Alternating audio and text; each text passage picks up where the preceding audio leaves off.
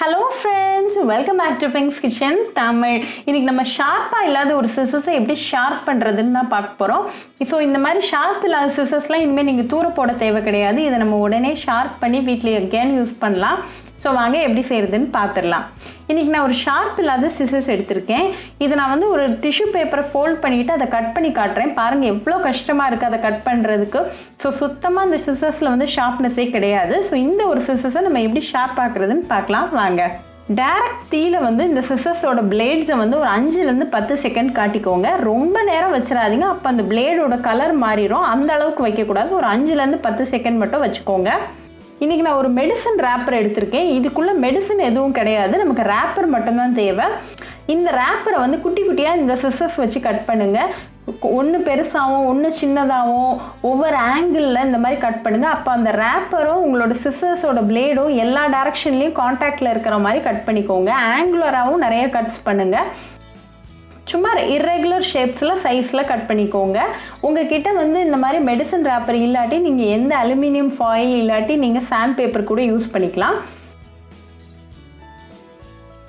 இந்த மாதிரி கடைசியாக கட் பண்ணி முடிக்கிற டைமில் ஒரு சின்ன பீஸை எடுத்து இந்த சிசஸோட பிளேடில் இந்த மாதிரி வந்து ரப் பண்ணி கொடுங்க. இது அகேன் வந்து உங்களோட பிளேடை வந்து நல்லா ஷார்ப் பண்ணுறதுக்கு ஹெல்ப் பண்ணும்.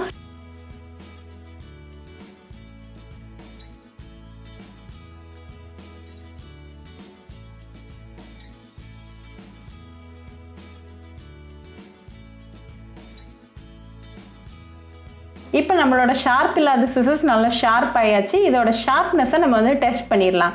அதே மாதிரி ஒரு டிஷ்யூ பேப்பரை நல்லா மடித்து வச்சுருக்கிறேன். இப்போ பாருங்கள் எவ்வளோ ஷார்ப்பாக ஈஸியாக கட் பண்ணுது இந்த சிசஸ்ன்ட்டு ஸோ இனிமேல் இந்த மாதிரி ஷார்ப் இல்லாத சிசர்ஸை நீங்கள் தூர போட தேவை கிடையாது.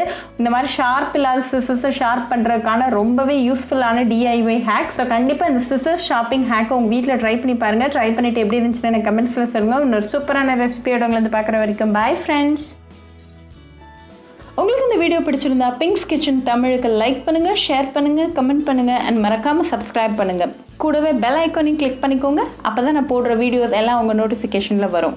உங்களுக்கு ரெசிபிஸ் இங்கிலீஷில் பார்க்கணும்னா பிங்க்ஸ் கிச்சன் சேனலை பாருங்கள் சேனலோட லிங்க் நான் அந்த டிஸ்கிரிப்ஷன் பாக்ஸில் கொடுக்குறேன். மறக்காமல் செக் பண்ணுங்கள் இன்னொரு இன்ட்ரெஸ்டிங்கான ரெசிபியோட உங்களை பார்க்க வர வரைக்கும் பாய் ஃப்ரெண்ட்ஸ்